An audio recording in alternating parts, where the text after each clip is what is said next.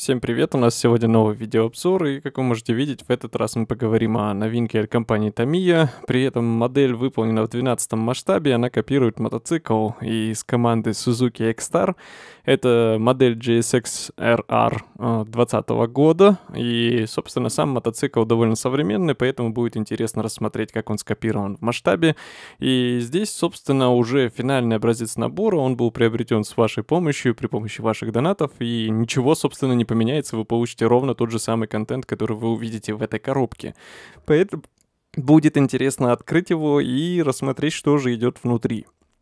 Собственно, сама упаковка здесь стандартная, как вы можете видеть, у нас очень красивый бокс-арт, и набор у нас уже 139 в серии мотоциклов от Tamiya, при этом он обещает быть очень проработанным, и вот еще, кстати, выпущен одновременно так называемый Detail Apps набор, то есть с помощью него уже можно улучшить переднюю вилку, улучшить э, глушитель и некоторые другие а, зоны, то есть обзор будет на английском вот этого набора дополнений, но сам вот этот пластиковый набор мы рассмотрим сегодня на русском. Итак, э, как я уже сказал, размер коробки стандартный для данного набора. Вот вы можете видеть сравнение с моей рукой. Здесь на одном из бортов у нас есть а, также такая небольшая схема, которая показывает внутреннее строение мотоцикла. Собственно, разумеется, все внутри будет проработано, но при этом вот есть еще и небольшая реклама вот этого Detail Up набора. При этом еще также на боксарте намекает э, сама заставка или картинка, то, что у нас идет еще и подставка для мотоцикла, что пригодится для демонстрации собранной модели. Здесь вот, собственно, мотоцикл показан уже с другой стороны, и в наборе есть несколько вариантов сборки, так как в команде Suzuki X-Star есть несколько мотоциклов, собственно, это все можно скопировать при помощи деталей, которые идут в комплекте. Тем не менее, я не сомневаюсь, то, что здесь будет еще и что-то другое в плане автомаркета, поэтому остается только подождать, если вы хотите более проработанную модель. Как вы заметили, коробка с верхней загрузкой. Сейчас я достану детали, и мы начнем обзор. Собственно, вот это вот инструмент этот пригодится для открытия всех пакетов, потому что все закрыто на скрепке. И здесь мы начинаем с белой рамки. Вы можете видеть то, что у нас идут внешние панели. Э, при этом они отформованы очень аккуратно. В принципе, здесь даже не нужно будет особо заморачиваться по поводу швов, потому что в мотоцикле все нужные детали, вернее, в наборе, они отлиты цельными. То есть здесь все то, что можно было разделить, оно разделено, а при этом, как вы можете видеть, вот этот обтекатель, в нем есть даже отверстие для воздуховодов, и они, собственно, будут улучшены при помощи набора апгрейдов. Туда вставляются специальные травленные детали, ну и с другой стороны вы можете видеть вот эти крупные направляющие, собственно, как и другие наборы от Tamiya, этот будет собираться при помощи болтов, поэтому будьте готовы. Здесь не всегда нужно пользоваться клеем, и поэтому нужно правильно еще и рассчитывать весь порядок сборки, потому что на самом деле все не настолько просто, как кажется, хотя дизайн набора более-менее продуманный, здесь нет такого, то что вы собираете все сикость-накость, скажем так, и потом пытаетесь как-то это все склеить вместе.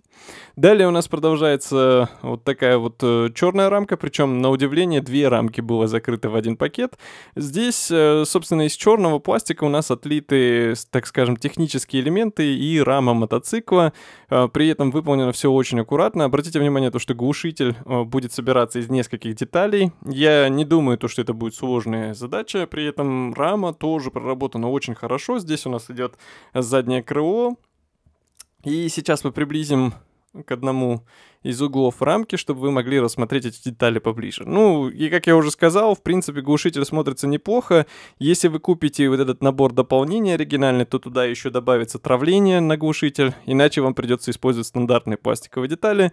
А обратите внимание, то, что сварочные швы на раме тоже выглядят очень даже впечатляюще. Здесь вот есть у нас и детали для передней вилки. Кстати, их нужно будет использовать даже с набором апгрейда, то есть металлические детали будут добавлены между пластиковых.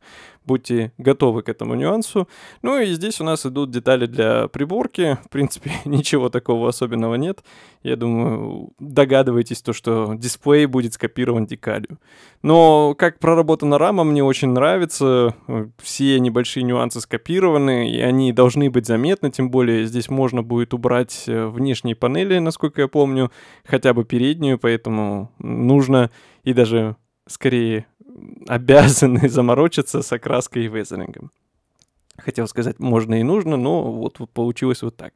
Здесь у нас идут э, детали для задней подвески, есть также диски колесные, есть также седло водителя, э, крышка сцепления, есть э, цепь и также ручки а, с рычагами принципе, тоже все проработано очень даже неплохо. Не забываем то, что вы все это получаете в стандартной комплектации, не нужно ничего докупать.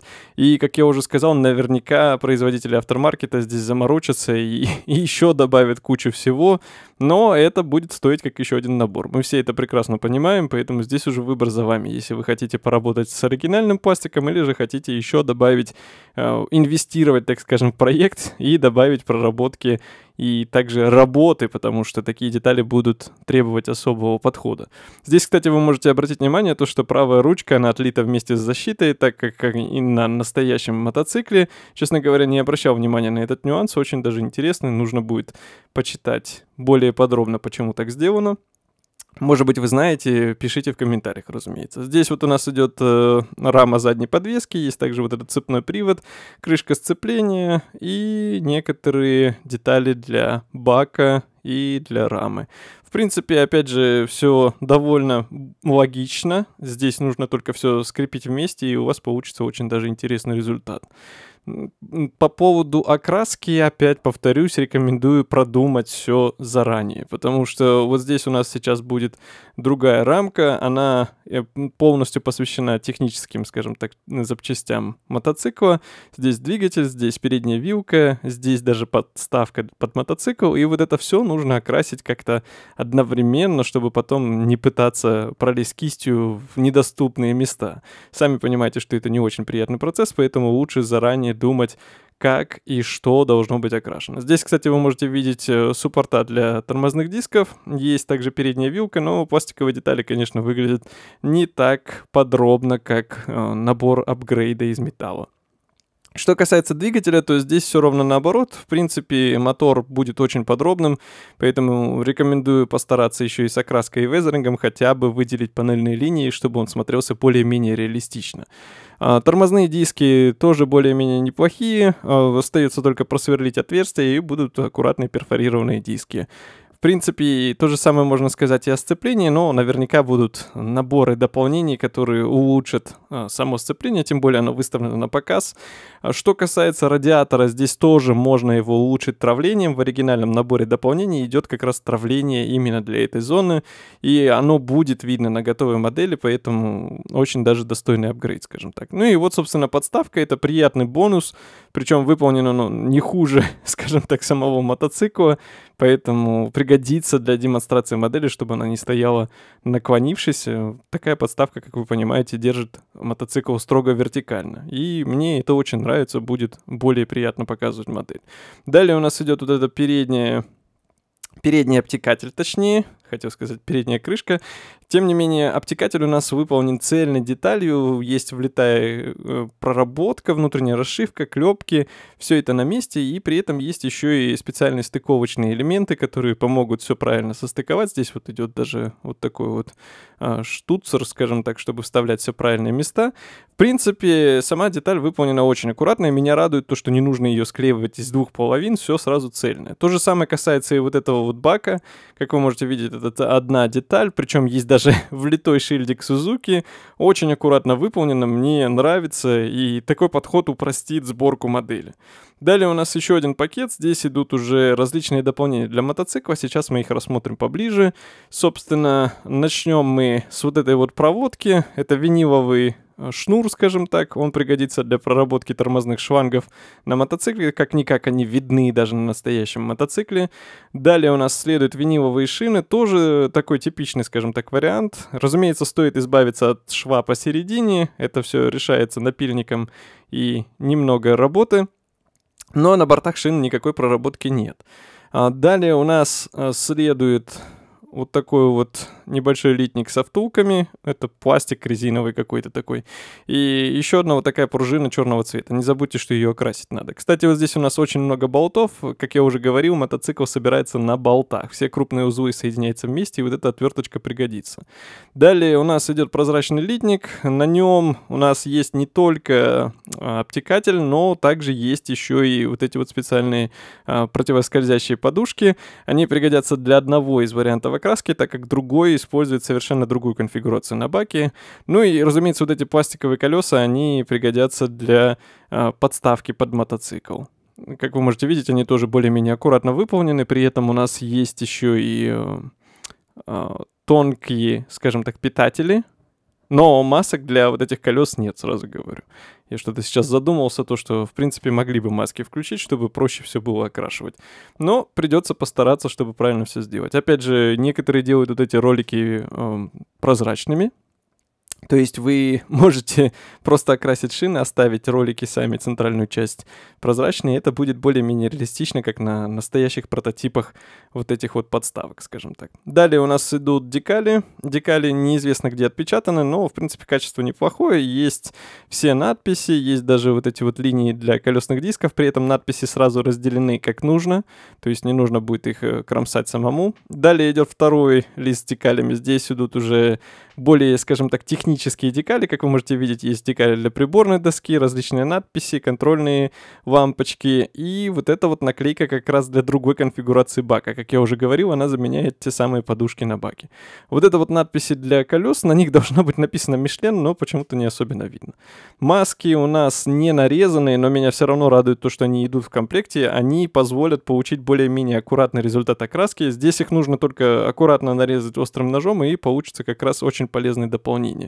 Иначе очень даже непросто окрасить мотоцикл в правильный цвет, поэтому я только рад видеть это в комплекте стандартном, и его не нужно докупать, вот этот бонус, скажем так. Далее у нас следует вот такие брошюры. Первая это так называемый background information, и внезапно она отпечатана в цвете, что очень даже пригодится, потому что здесь окраска такая интересная, что нужно будет внимательно копировать все элементы. При этом обратите внимание, то, что можно скопировать 36, 42 и 50 номера, что, в принципе, заинтересует моделистов, тех, которые, скажем так, хотят скопировать определенный вариант окраски. Именно, например, 42 мотоцикл. Здесь вот Tech Tips, это включается в любой набор томии, ну и, собственно, инструкция, она у нас черно-белая, и на первой странице идут э, советы по сборке, также рекомендуются различные инструменты, и э, я, в принципе, согласен, то, что вот эти инструменты — это минимум для того, чтобы собрать подобную модель. Кстати, вот здесь у нас идет correction, так называемый. Что это такое? А, ясно.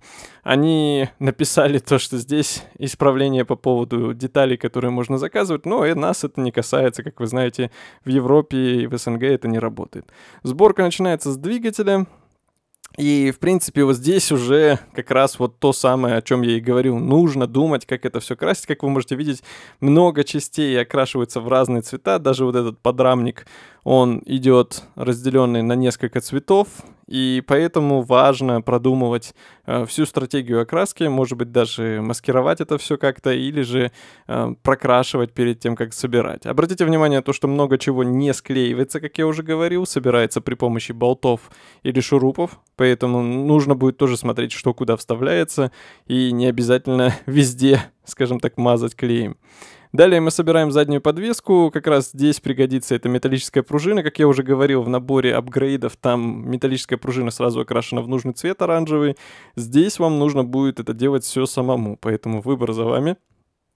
Но, в принципе, набор апгрейдов еще немного упростит жизнь в некотором плане, скажем так. Далее мы собираем вот эту вот э, раму задней подвески. В принципе, она склеивается из двух половин, как и на настоящем мотоцикле, ничего особенного нет. Но при этом цепь нужно будет э, разрезать пополам, вставить сквозь раму и затем склеить обратно. То есть будьте аккуратны с этим, чтобы все получилось более-менее опрятно. И это избежать не получится, только если вы не купите aftermarket набор, который нужно будет собирать отдельные звенья. Далее мы собираем колесные диски, это точнее заднее колесо, мы вставляем его уже на место, закрепляем при помощи опять шурупов, устанавливаем э, сверху крыло и проводим еще тормозную линию, которая как раз копируется тем виниловым шнуром, И затем на 12 шаге мы уже собираем подставку для задней подвески. Очень такой интересный, скажем так, э, порядок сборки, но здесь уже выбор за вами. Если вы хотите собрать сразу вот эту подставку, то вперед. Далее мы присоединяем заднюю подвеску к раме. Опять же, все закрепляется на шурупах, поэтому проверяйте крепление, чтобы все точно было надежно закреплено. С другой стороны, подобный дизайн позволяет все окрасить и собрать отдельно, и затем уже просто повставлять шурупы, где нужно, и закрепить э, надежно, как финальный шаг. Далее мы начинаем работу над сводами двигателя. Здесь же прорабатываются и выхлопные трубы. Еще раз напоминаю то, что вот эту сетку можно заменить на травление, если вы купите набор апгрейдов. И то же самое касается, кстати, радиатора потому что решетка травления будет установлена на этот радиатор. В принципе, как по мне, пластиковая деталь неплохо выглядит, что не скажешь о передней вилке. Вот вилку бы я заменил точно на металлические детали, потому что позволит получить более а, реалистичную проработку. Далее мы начинаем уже работу над передним колесом. Опять не забудьте то, что нужно нанести еще и правильно декали. И затем собираем вот это крыло для переднего колеса, а также специальные защитные крышки для тормозных дисков, которые устанавливаются на этих спортивных мотоциклах. И также, разумеется, устанавливаем тормозные диски, вернее, они уже на месте. Затем мы продолжаем работу вот этой вот верхней частью вилки рулевой. Устанавливаем все контрольные элементы, ручки, рычаги, и также тормозные линии, которые будут тянуться от руля. Устанавливаем задний обтекатель, который будет прямо за водителем. Там причем определенная схема окраски. Будьте аккуратны и внимательны, как правильно нужно, в каком порядке это все прорабатывать. Далее мы следуем уже а, сборкой топливного бака, и причем вот это все затем водружается на раму. Опять же, обратите внимание то, что некоторые детали должны оставаться черного цвета, и нужно быть внимательным, чтобы они остались именно такого цвета. И мне очень интересно, если можно это все делать параллельно, то есть э, собирать деталь э, из окрашенных деталей, вернее, всю модель, и затем все уже собирать постепенно. Кстати, здесь вот вы можете видеть на баке несколько конфигураций вместе с подушками или же вот этим специальным э, слоем наклейки на топливном баке. Здесь уже выбор за вами, опять же, все будет зависеть, какую конфигурацию вы выберете. Далее начинается сборка переднего обтекателя. Здесь у нас отдельный передний спойлер — не забудьте его добавить, причем оно опять окрашивается отдельно, и опять нужно продумывать, как вы хотите его покрасить. В принципе, я не совсем понимаю, почему боковые вот эти вот э, части спойлера у нас устанавливаются отдельно, но при этом обратите внимание на то, что в принципе его реально сделать снимаемым на модели, и на этом у нас все, модель заканчивается. Кстати, вот здесь меня заинтересовала вот эта вот часть. А, собственно, здесь расписывается, как нужно правильно наклеивать маски на обтекатели, поэтому тоже рекомендую отнестись а, внимательно, чтобы получился правильный разрез вот этих всех узоров на обтекателях. Итак, модель получилась на удивление хорошая. Я рекомендую всем фанатам мотоциклов, которые хотели бы собрать вот эту спортивную версию Suzuki. Как обычно, вернее, не как обычно, а благодарю вас за то, что помогли приобрести этот набор. Ну и пишите свои комментарии вот здесь ниже. Если видео понравилось, обязательно нажмите кнопку лайк и поделитесь с другом. Ну и увидимся в следующем видеообзоре, как обычно. Спасибо за то, что присоединились сегодня. Следите за обновлениями, будет еще больше видео. Пока.